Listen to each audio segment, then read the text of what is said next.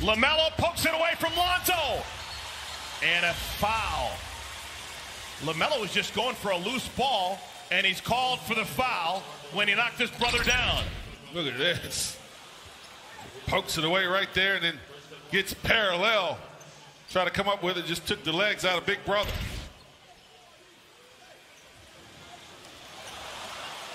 Look at the scrapes, scratches on his